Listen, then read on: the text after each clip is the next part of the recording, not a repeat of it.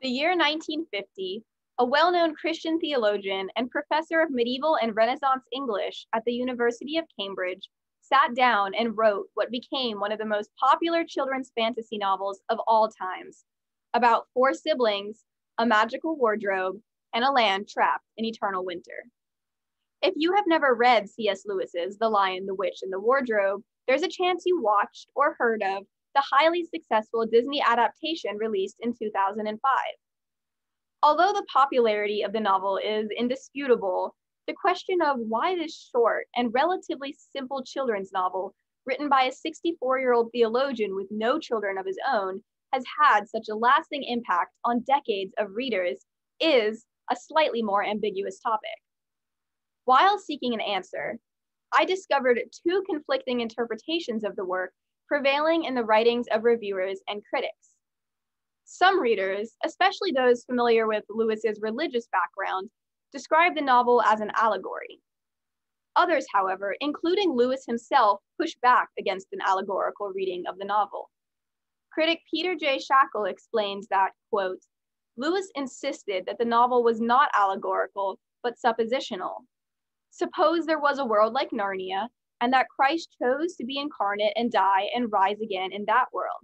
This is what it might have been like, unquote. Readers like Schakel, who see the novel as something other than allegory, most frequently take an archetypal approach and often use the words myth and fairy tale when speaking of the work. Through my careful analysis of critics' interpretations of The Lion, the Witch, and the Wardrobe, and my own study of the work, I have come to the conclusion that an archetypal reading best accounts for the novel's enduring power. So, what are archetypes?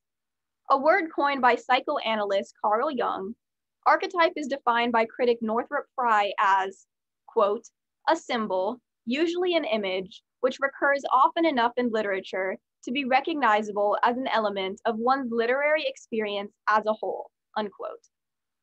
Archetypes draw upon the concept of primordial images, which William Harmon and Clarence Hugh Holman say are, quote, shaped by the repeated experiences of our ancestors and expressed in myths, religion, dreams, fantasies, and literature. In simpler terms, archetypes are patterns repeated across literature of different time periods and cultures.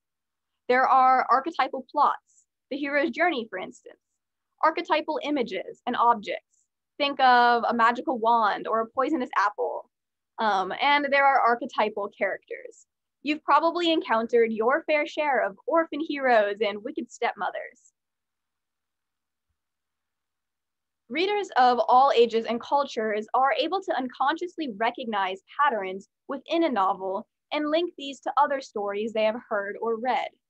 This makes, this makes fantasy worlds subconsciously familiar and predictable places, places where the reader feels safe and in control. Readers are also able to consciously or unconsciously connect archetypal patterns to their experiences in the real world, since archetypes in literature mirror types of real life events and real life people. When readers make these connections, their experiences in the fantasy world become meaningful beyond the pages of the book. I believe that a main reason the characters in The Lion, the Witch, and the Wardrobe are so highly praised is that they are based on archetypes. Lewis successfully harnesses the power of archetypes to create characters that are recognizable, understandable, and real to readers. Focusing on the contrasting characters, the White Witch and Aslan, provides a clear illustration of the effectiveness of archetypes in Lewis's novel, and a persuasive reading against a straightforward allegorical reading.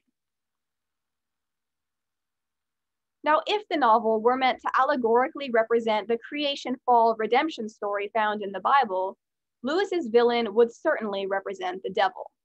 However, Lewis explicitly states that his antagonist the White Witch, who has stolen the rightful throne of Narnia and cast the land in endless winter, is meant to be Lilith or Circe, a female archetype more generally known as the Temptress and quite distinct from devil type characters. In the story, the protagonist's friendly animal guide, Mr. Beaver, says, quote, She's no daughter of Eve. She comes of your father Adam's first wife. Her they called Lilith. In Hebrew mythology, Lilith was created by God from dirt and commanded by God to lie with Adam. She disobeyed this command, had relations with demons, and frequently threatened to murder Adam's offspring. According to critic Heather L. Blastell, different cultures' mythologies portray Lilith in a huge variety of roles, and she has, quote, throughout the centuries come to encompass every female villain the world's misogynistic societies could create, unquote. Lewis himself connects the White Witch with the Lilith archetype by describing her as Circe, another character linked to Lilith. He says, quote, the White Witch is, of course, Circe, Alcina, etc., because she is, or they are, the same archetype we find in so many fairy tales, unquote. Whether you've heard of Lilith and Circe or not, you've almost definitely encountered villains that follow the Temptress patterns. And because of that, you'd instantly recognize the type of character the White Witch is as a result of certain key characteristics. Schakel's summarizes these traits as follows. Each tempts its prey, hates human beings, and epitomizes selfishness, cruelty, and desire for control, unquote. The White Witch tempts her prey with magical food, the iconic Turkish delights that Edmund Pevensie becomes so intoxicated with that he betrays his entire family. She also clearly hates human beings, frequently using the words brat, fool, and vermin to describe the Pevensie siblings, and showing no compassion towards them regardless of their suffering. And finally, cruelty and desire for control are exhibited in many of her behaviors, including her method of murder itself, turning her victims to stone thereby exercising complete control over them. As I mentioned before, Lewis's choice of villain is unexpected for many readers who anticipate encounters with the devil in a book by a Christian author. I would argue, however, that Lewis was quite intentional with his choice of villain. Lewis selects the Temptress archetype with the knowledge that young readers will instantly recognize her from having encountered similar villains in other fairy tales he makes it really easy for readers to bring her to life in their imaginations. Lewis may also have selected the Lilith archetype, thinking that she would be more relatable to readers.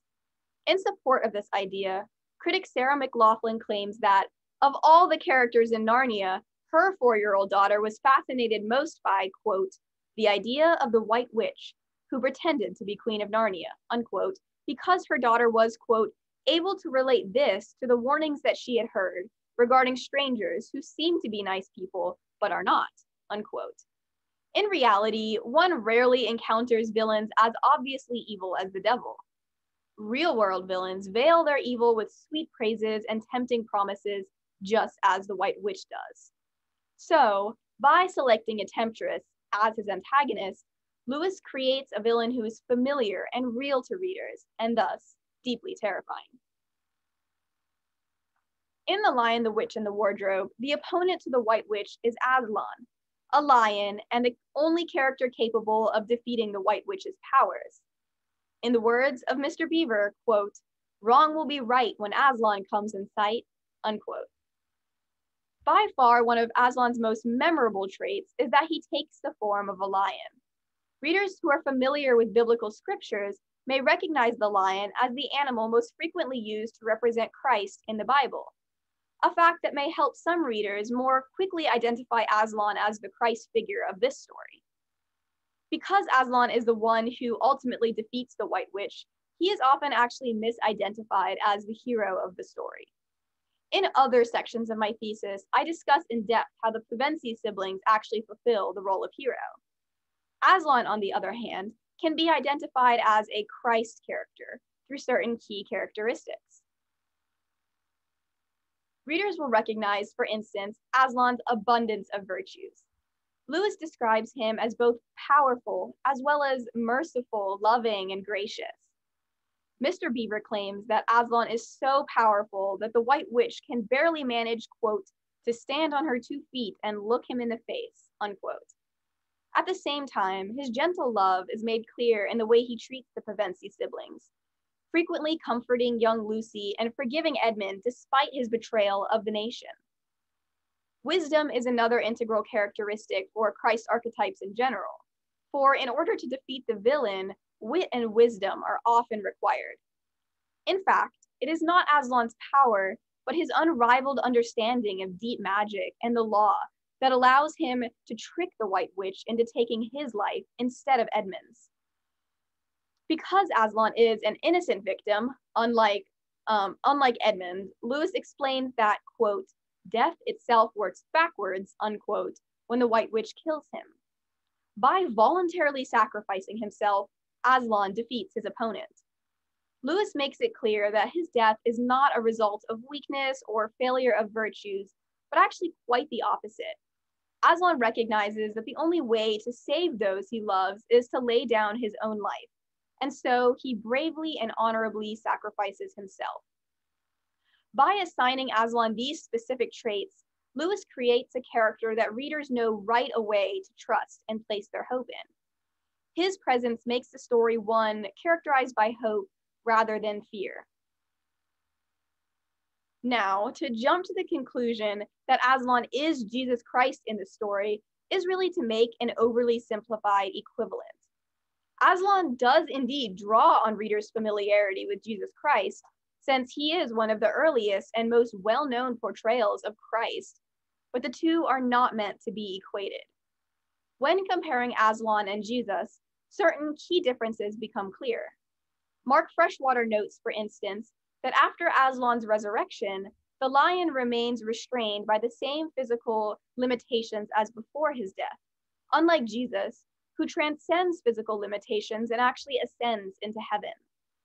The more important difference between Aslan and Jesus, however, is that Aslan uses deception to secure Edmund's salvation.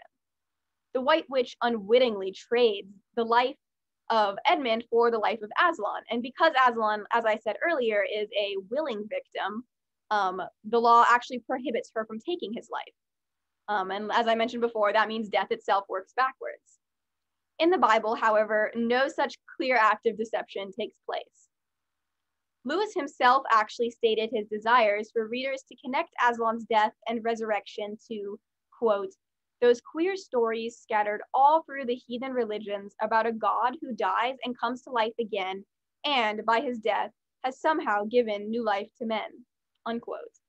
In other words, Aslan draws on the power of centuries of Christ characters in literature, mythology, and religion, not just Jesus Christ. Now, those who assume that Aslan's sacrifice exists in the novel as a direct representation of Jesus's crucifixion are essentially viewing the scene as a theological argument, primarily meant to speak to readers' minds. In doing so, they can miss out on the unique and enjoyable experiencing experience of witnessing Aslan trick the White Witch and cleverly save Narnia from winter. Aslan's sacrifice really shouldn't speak only to the mind, but also to the heart. His resurrection really should fill readers' heart with hope and joy feelings that transfer over to whatever challenges they may be facing in the real world. Allowing Aslan to function as the Christ archetype Lewis created him to be, rather than forcing him into an allegorical interpretation, makes this more full and multifaceted enjoyment possible. We now return to our original question. Why does The Lion, the Witch, and the Wardrobe have such a powerful impact on readers? As a professor and writer of many great apologetic works, Lewis spent ample time speaking to readers' minds. His intellectual arguments have succeeded in sparking more than a few conversions to Christianity. But with the writing of his imaginative Chronicles of Narnia, Lewis found a new way to deliver his message of hope through the words and actions of fictional characters that readers readily invite into their hearts. Whether readers are conscious of it or not, they enter the world of Narnia as questioning individuals, every mind containing some uncertainty about the workings of the world, the power of good and evil, and the purpose of life. Lewis recognized that he could provide answers to these questions through fiction. In the words of Alister McGrath, author of the standard biography about Lewis, Lewis came to the belief that imaginative works should, quote, be seen as a legitimate and positive use of the human imagination challenging the limits of reason, and opening the door to a deeper apprehension of reality, unquote. With the plot of The Lion, the Witch, and the Wardrobe, Lewis poses this important question Will good triumph over evil? By journeying along with Lewis's archetypal characters, fighting the White Witch, witnessing Aslan's death, and rejoicing at his resurrection, readers discover the answer they have been hoping for from the start. Thank you for listening to my presentation.